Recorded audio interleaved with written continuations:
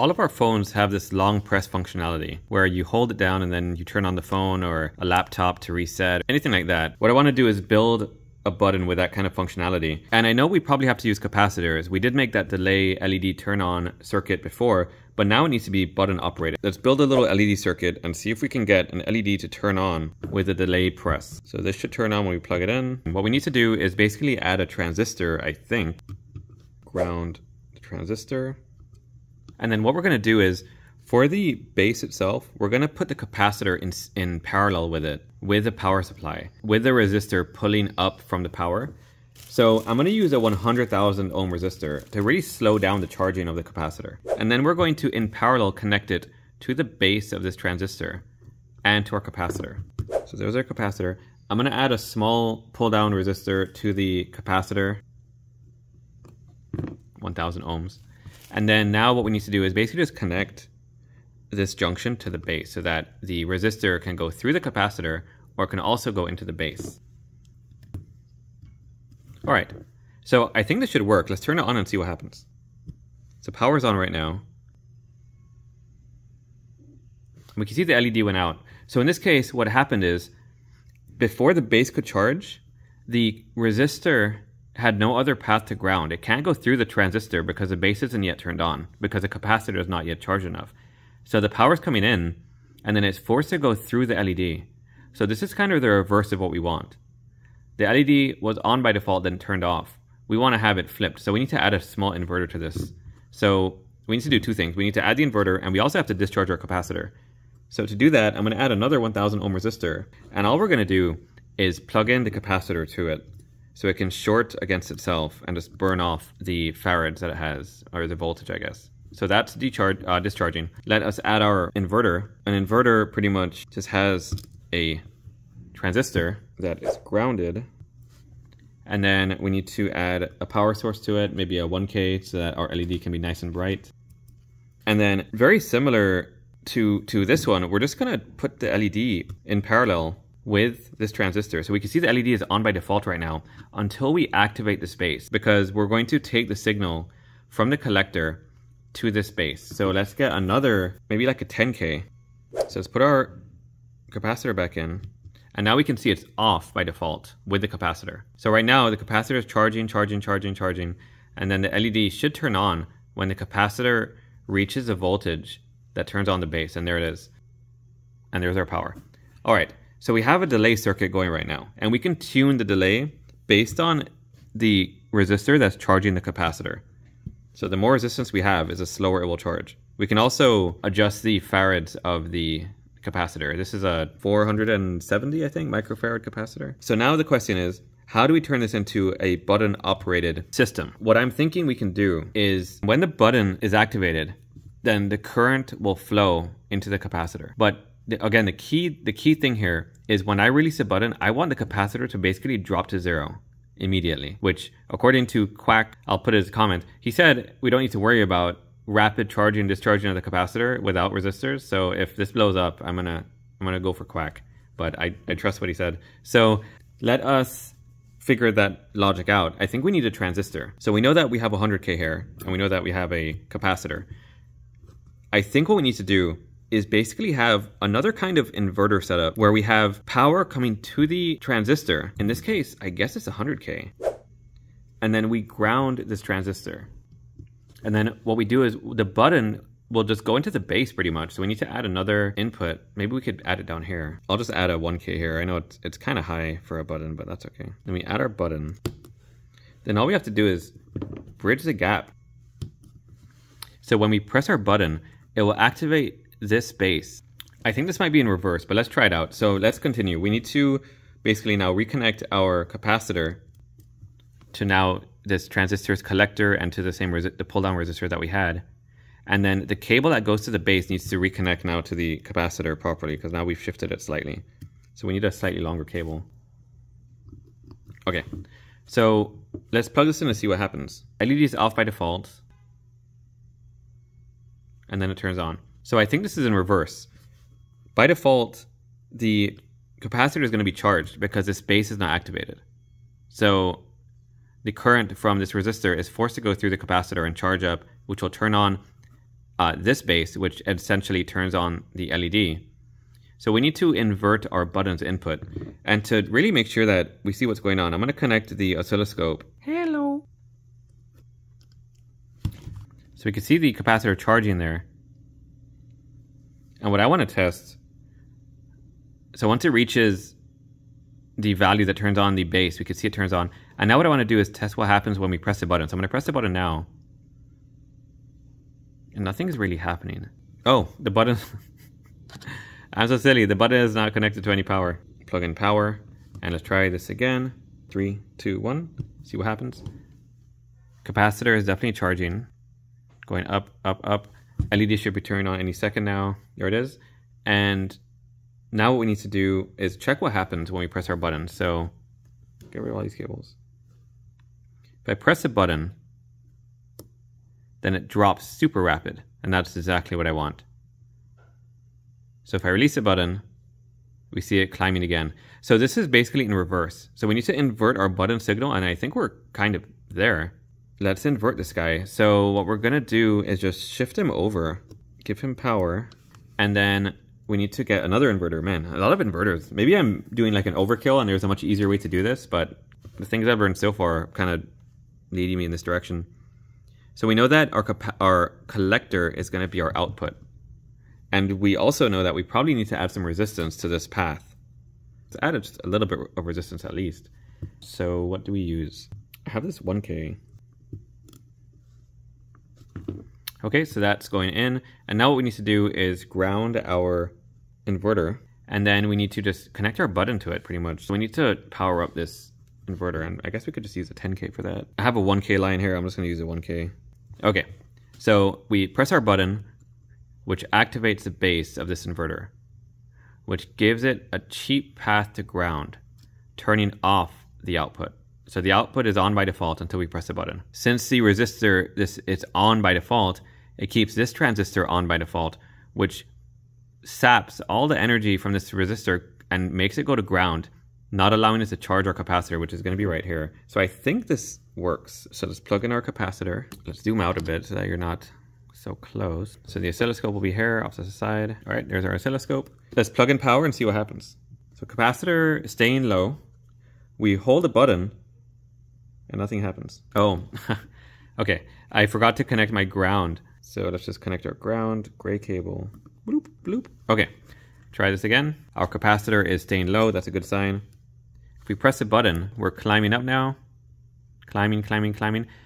And let's see if the LED turns on and it's on.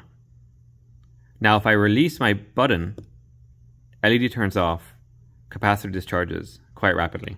So if we're charging it, holding, holding, holding, and we let go, it drops back down. So this is kind of what I wanted. This is a long press, and then the LED turns on after a long time. I probably should lessen the resistance on the capacitor because this takes forever for us to test it. But we can see that it works. Now, of course, the only problem is the LED does not stay on. So how do we solve that?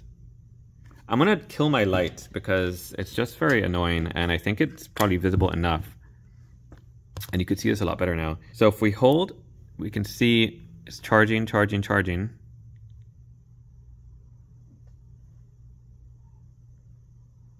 Going up, going up, going up, going up, going up. And then the LED should turn on any second now. And then we release, LED goes out, capacitor discharges. So the question is, how do we keep the LED on? To think about exactly what's happening to keep the LED on, like right now, what turns on the LED? This resistor turns off. So when this resistor is off, this inverter is off, and the power from this resistor must go through the LED. So what we need to do is basically have a feedback loop where the power that goes into the LED to turn it on also powers the base of this transistor which is keeping off this resistor. I think that's what we have to do. So once the LED turns on, he himself makes sure that the resistor stays off by giving this guy giving his power a cheap way to ground. So he wants to go through the transistor, but he can't. So he's forced to go through the resistor, which keeps the LED off.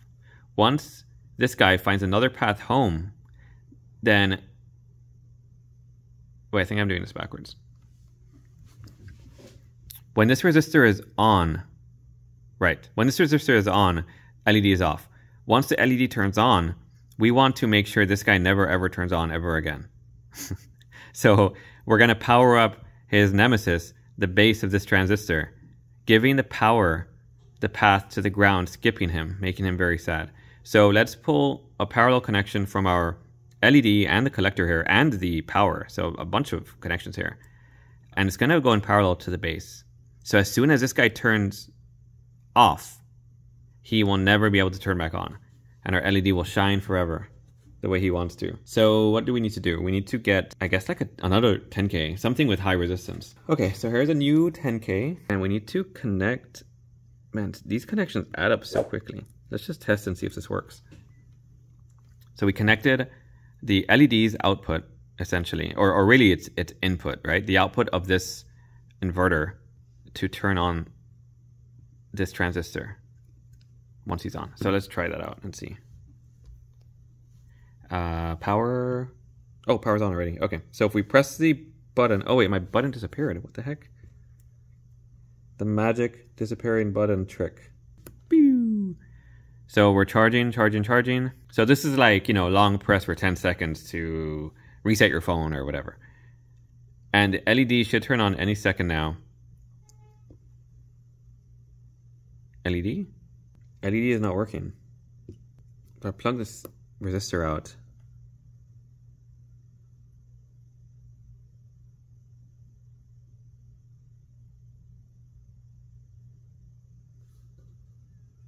So this LED is somehow limiting our voltage. Okay, so I didn't do that right. So what is the other method then to make sure the LED stays on? I mean, I'm sure there's a lot of solutions here. I just thought we could use the tools that we already have here. What do we do? What if the LED itself just connected to the base? He could be the connection that we need, but not the one we deserve. Let's try that and see what happens. Because he he himself can just go through the base to the uh, to, to ground. Charging, charging, charging, charging. Let's see. Still going up. Still going up. And he's on. Ah, but he still turns off. What? How does that work? He still turns off. How? Okay. So my method is not working.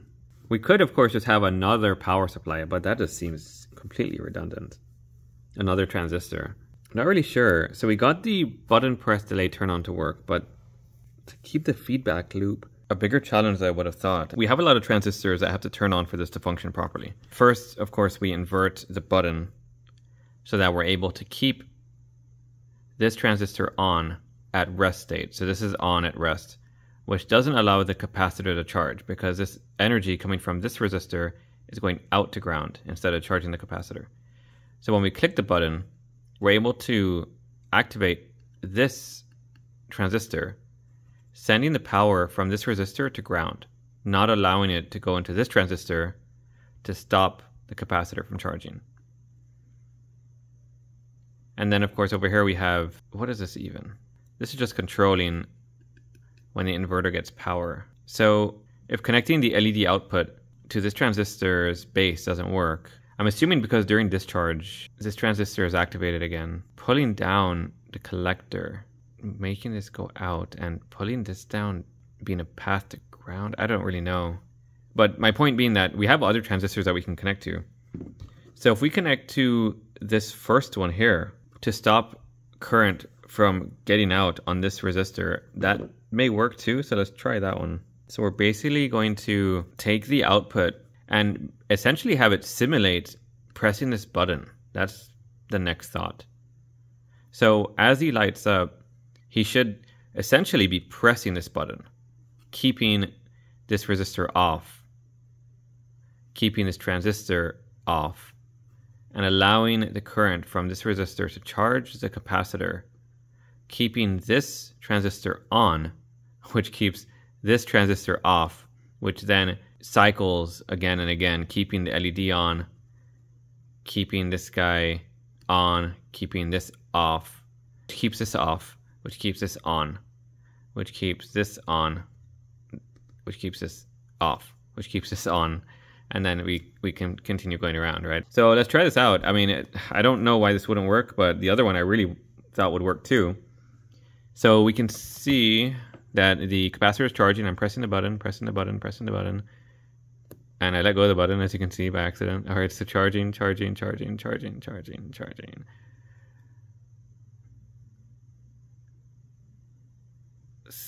All right, LED's on, and I'm going to let go of the button and see. Hey, it works. Okay, so I will not lie. I don't really think I like my solution. I feel like this isn't the proper way of doing it, but mission accomplished. Now, of course, we can't turn it off, but that's that's fine. You know, I knew that was going to be the case. So this is our beautiful long press circuit. I feel like there are too many transistors here. I don't know if I'm not thinking straight, but I feel like I am, I'm inverting so many things that maybe I can skip an inversion because you would think two inverters kind of cancel out. And we have an inverter here for our button input.